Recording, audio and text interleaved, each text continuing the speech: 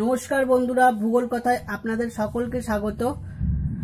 আজকে আমরা ভারতের অরণ্য গবেষণা কেন্দ্র ও সংরক্ষণ সংক্রান্ত নানান তথ্য নিয়ে আলোচনা করব। গত ভিডিওতে অনেক কিছু আলোচনা হয়েছে বনভূমি সংক্রান্ত। এই ভিডিও, এই ভিডিওটিতে অরণ্য গবেষণা কেন্দ্র এবং সংরক্ষণ নিয়ে নানান তথ্য আলোচনা করা হবে।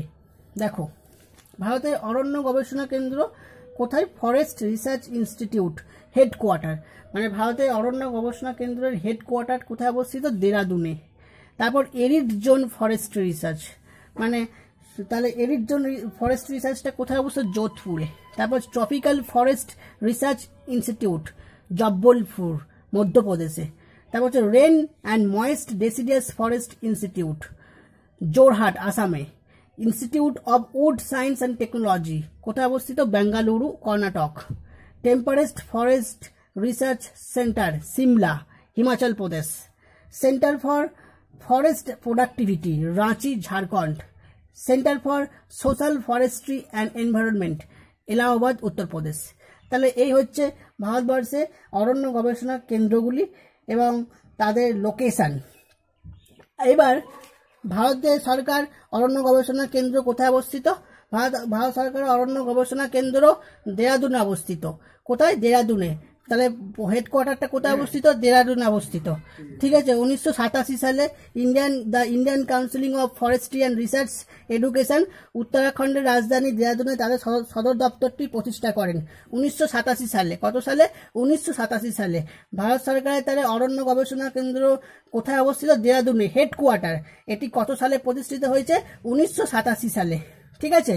এইবার এটা তো হলো ভারতবর্ষের গল্প। এবার যদি প্রশ্ন করা হয় যে ইন্টারন্যাশনাল ফরেস্ট রিসার্চ সেন্টার কোথায় অবস্থিত? সেটা হবে ইন্দোনেশিয়ায়। ইন্দোনেশিয়ায় অবস্থিত। ইন্টারন্যাশনাল ফরেস্ট রিসার্চ সেন্টার অবস্থিত ইন্দোনেশিয়ায়। ঠিক আছে? এই হলো ভারতের অরণ্য গবেষণার কেন্দ্রগুলি। ঠিক আছে? এবং ইন্টারন্যাশনালেরও দেখানো হলো যে ইন্দোনেশিয়ায় অবস্থিত। এবার ভারতে বনভূমি সংরক্ষণের বিভিন্ন আইন নীতিগুলি কত সালে এসেছে? ভারতের প্রথম বননীতি আইন, ন্যাশনাল ফরেস্ট পলিসি কত সালে? আঠারোশো চুরানব্বই সালে। ঠিক আছে? এটা স্বাধীনতার আগে হয়েছিল। প্রশ্ন আসে অনেক সময় যে স্বাধীনতার আগে কত সালে ভারতবর্ষের প্রথম ন্যাশনাল ফরেস্ট পলিসি গ্রহণ করা হয়েছে? তখন হবে আঠারোশো চুরানব্বই সালে। ঠিক আছে? এরপর স্বাধীনতার পর কিন্তু তিনবার এটা সংশোধিত বা রিভাইজড হয়েছে। ন্যাশনাল ফরেস্ট পলিসি অ্যাক্ট কত সালে? প্রথম হয়েছে উনিশশো উনিশশো বাহান্ন, তারপর উনিশশো আশি, তারপর উনিশশো অষ্টআশি সালে। ঠিক আছে? এরপর দেখা যাক যে বনভূমি সংরক্ষণের অন্যতম একটা পন্থা হচ্ছে সামাজিক বনসৃজন বা সোশ্যাল ফরেস্ট্রি এটা কত সালে ভারতে গ্রহণ করা হয়েছে? উনিশশো ছিয়াত্তর সালে। এই সামাজিক বনসৃজন কথাটি প্রথম কে ব্যবহার করেন? Jesse Ostby Jesse Ostby. ঠিক আছে, জেসি ওস্টবি। আর ভারতের জয়েন্ট ফরেস্ট ম্যানেজমেন্ট, যৌথ যৌথ অরণ্য ব্যবস্থা উনিশশো একাত্তর সালে শুরু হয়েছিল। কোথায় শুরু হয়েছে? এটা পশ্চিমবঙ্গে আড়াবাড়ি অরণ্যে। এটা আড়াবাড়ি মডেল নামেও পরিচিত। ঠিক আছে? তাহলে এই হচ্ছে ভারতের বনভূমি সংরক্ষণের নানান ব্যবস্থা এবং তাদের কত সালে শুরু হয়েছে? এগুলি দেওয়া হলো। এবার কয়েকটা আরও তথ্য, যে world forest day twenty first March national forest week for India কত কত? আটই জুলাই থেকে চোদ্দই জুলাই হচ্ছে ন্যাশনাল ফরেস্ট উইক হ্যাঁ ভারতে বনভূমি সংক্রান্ত বেশ কিছু আন্দোলন হয়েছে, যে বনভূমি বাঁচাতেই হবে। বনভূমি ছাড়া কখনোই আমরা বাঁচতে পারব না। তার জন্য বিভিন্ন আন্দোলন হয়েছে বিভিন্ন সময়।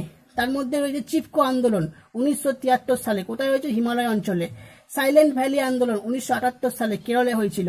অ্যাপিকো আন্দোলন উনিশশো তিরাশি সালে কর্ণাটক। নর্মদা বাঁচা আন্দোলন উনিশশো পঁচাশি সালে। ঠিক আছে, এই সংক্রান্ত আন্দোলনগুলো হয়েছিল সবেরই একটাই মোরালিটি যে বনভূমি বাঁচাতে হবে। বনভূমি ধ্বংস করে কখনোই নগরায়ন বা শিল্পায়নের একমাত্র পন্থা নয়, একমাত্র উপায় নয় যে বনভূমি ধ্বংস করেই আমাদেরকে নগরায়ন করতে হবে, আমাদেরকে শিল্পায়ন করতে হবে। বনভূমি বাঁচাতে হবে। ঠিক আছে? এই জন্য এই সকল আন্দোলনগুলি হয়েছিল। আশা করছি তোমরা বুঝতে পেরেছ ভিডিওটি এবং ভিডিওটি আশা করছি তোমাদের কাজে লাগবে। ধন্যবাদ।